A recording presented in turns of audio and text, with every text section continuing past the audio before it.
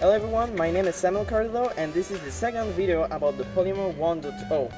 The first video was about the Polymer Starter Kit which was announced at the latest Google I/O But in this video we're gonna learn how to create our own element and use it in our application. As you may know, Polymer comes with a bunch of pre-made components based on material design called paper. And it's exactly what we're gonna do. We're gonna do a, an element based on material design and pr more precisely the paper card. This component will be useful to include any type of content such as media and text and even maybe a button into our own application. I know that right now you should be very very very excited to start and to see it in action, so I'm gonna stop speaking and we're gonna start directly coding it. First of all, let's go on the Material Design Guidelines website to see how a card look like. The definition that is gave to us is that a card is a piece of paper with unique related data that serves as an entry point to more detailed information. For example, a card could contain a photo, a text, and a link about a single subject. As we can see here, we have sample of usage and multiple pictures to show us how it looked like. You should have seen them on your Android devices and across the web. The element we are going to create will give us the possibility to do exactly the same result that what we are seeing right here. Personally, I will do it on Polymer Starter Kit, but you can do it on a regular Polymer setup. For the moment, that's all my page look like. As you can see, I've done some modification on the basic page, but it doesn't have anything to do with this video and what you're gonna learn today. So if it's different than what you have on your screen, don't be afraid, it will affect nothing. The first thing we are going to do is to go in the folder elements and create a new subfolder called paper card. Then in this folder we can create a new file called papercard.html. When it is done, we are about to create our first element together, and that is very exciting. Now let's declare our elements as I was explaining to you in the first video by using DOM module. So we type DOM module ID equal paper card. It means that we will be able to call it directly on index.html by doing a simple call like that. Now what we need is style, a template, which is where the DOM will be. So all the content of the, the element will be inside the template. And outside the DOM module, we need to put script. And it will be the script of our element. So every action that will be possible to do on the element need to be declared and done in the script section. In order to make a polymer understand that this script is for this element, we're gonna say polymer is paper card entity. Now we are going to call our element inside our application by going in the file elements and then calling it by writing link rel equal import href paper card slash paper dash card dot html. So here, if we call inside index.html or element paper card, it will work. So now let's go on index.html and call him. Let's delete all that and write paper card. And as we can see, it's clean, nothing inside. Why? Because our element paper card.html have nothing in the DOM. What if now I write hello? We can see that our element is working and the content inside is displayed on our application. But it doesn't look like how we want it to look. Now this video is not about the CSS itself, so I will just pass it and I will explain you some part of it, such as host here and content, but I will explain you content after.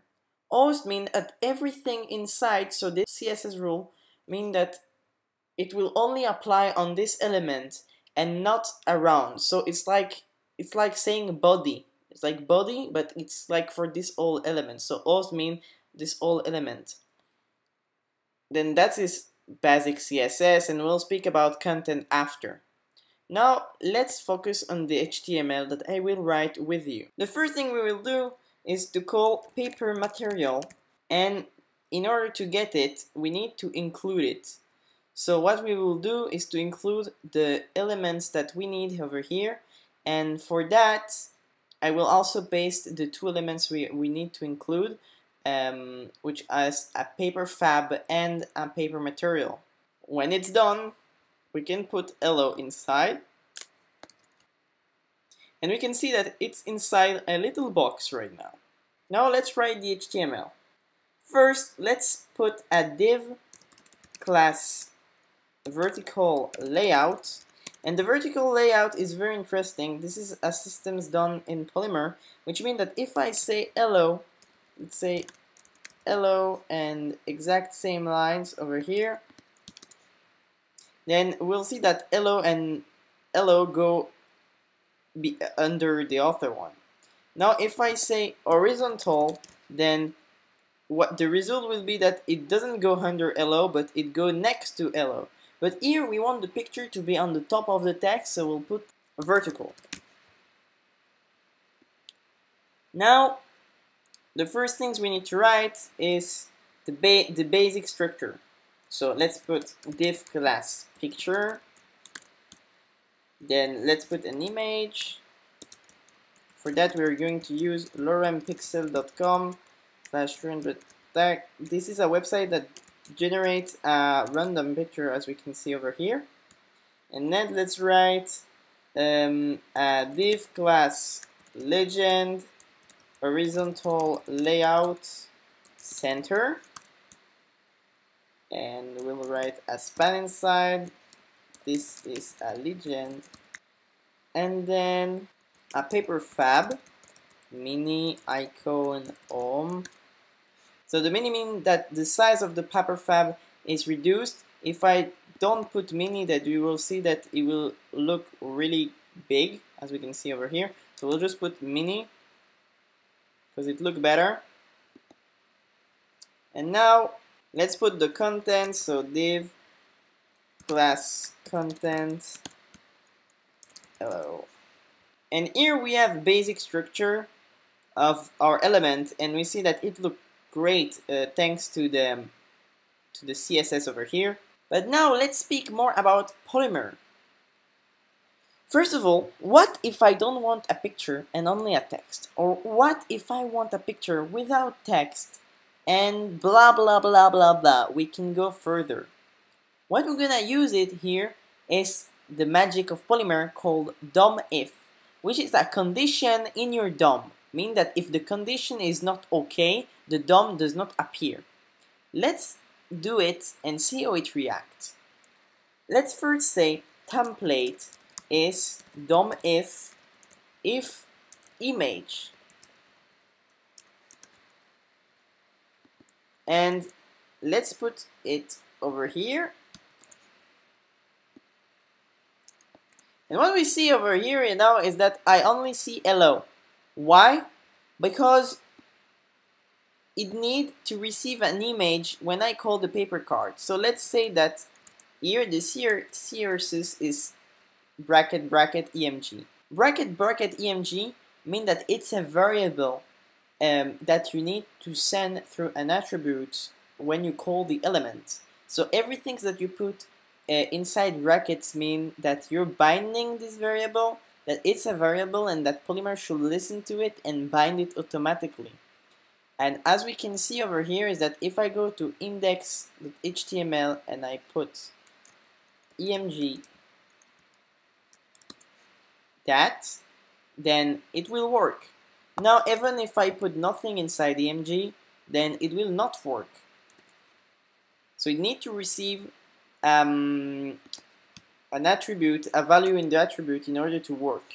We can do that with everything. Let's make an example with elevation. And let's say 3.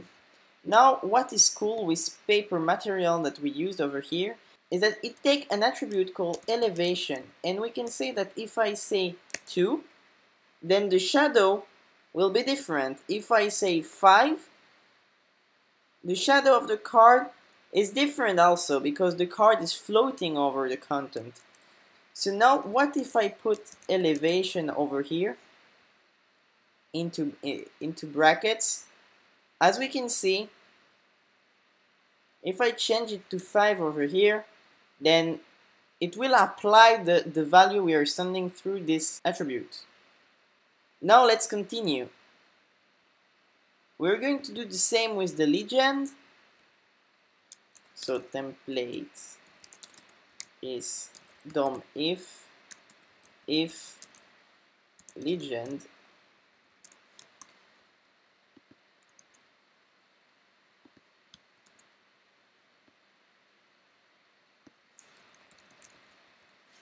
and the paper fab. And for the paper fab, we're gonna apply it to the icon.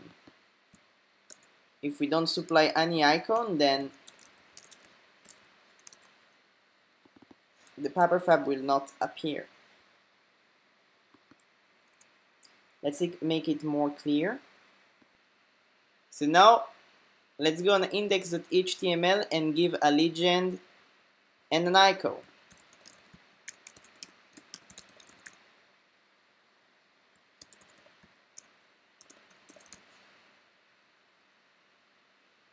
And as we can see, it looked very great.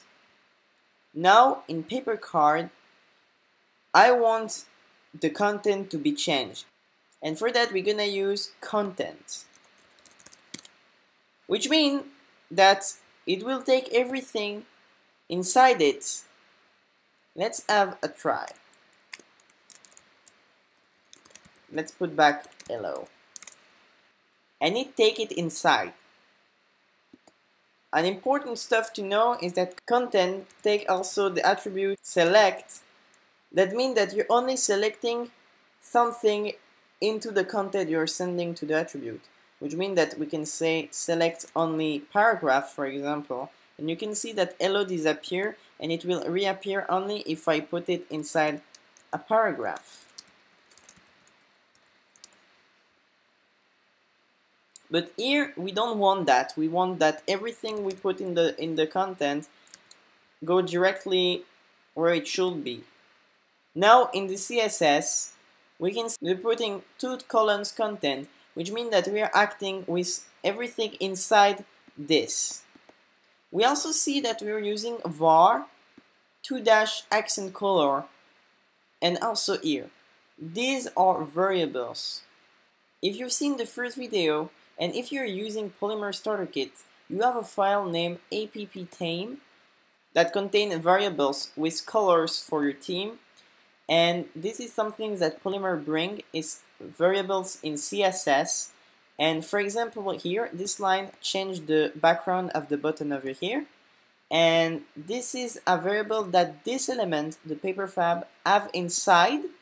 And for example, if I put black then the button turned black.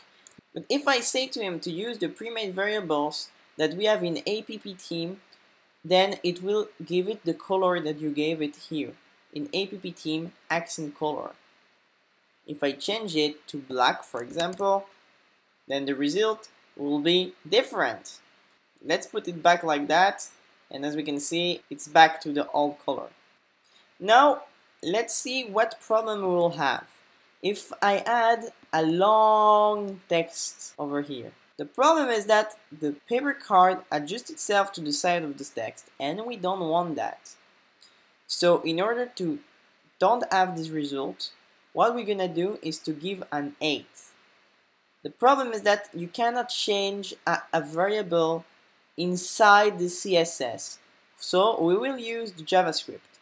For that, we're gonna put here properties and properties mean that inside you have all the variables uh, that your element will take or play with. And we'll, we'll say with dot. Inside we say type is number. And inside we're gonna put an observer, which means that if the variable is not null or if it's changed, then this function will be called. So let's call it change with. And if you remember the first video, I told you that this underscore mean that this is a private function that you cannot call from the outside. So it's only in this element that this function will work and, and, and you cannot call it or use it from outside this element. So now let's create this function. So let's put um, change with function data. So data contain the new value or the existing value. And we'll say this style with equal data. And we add pixels. So here we are we are taking the whole host CSS and then we also need to change the value in content. So for that we use a query selector content. So not this content but the div here class content. I'm gonna say with equal data. Good. And now as I give a width of 350 um, pixels let's say width equal 350 and boom it worked the content and the whole width is now adjusted. And obviously if I now take the paper card and repeat it then it will appear and I can even change the content over here to say I don't know like hello. And here we have our paper card ready to be used in production for any application that you will create and I hope you like it. And that's all for this video. You can reuse the component directly in your own application by downloading it on GitHub. And if you enjoyed this video as I did, feel free to contact me on social network or by commenting this video. I will help you out if you have any problems and let's see us in the next video.